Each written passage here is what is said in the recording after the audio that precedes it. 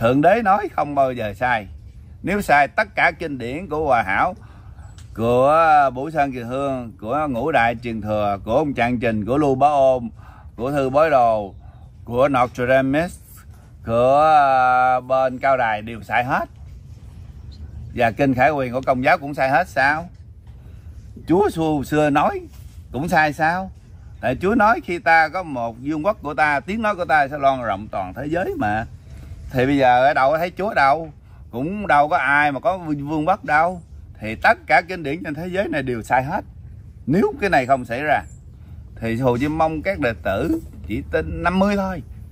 Chứ đừng có như ờ, những đứa nó khôn quá thành nó ngu quá. Rồi cuối cùng, nó phản thầy, phản bạn, để mà nó đi đọa địa ngục vô gián. Thù cứu không có nổi.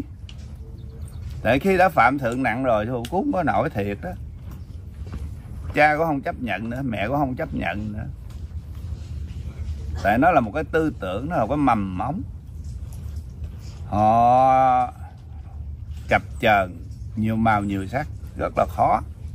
Cho nên mình đã tin thượng đế thì giữ hình thượng đế, hình phật mẫu.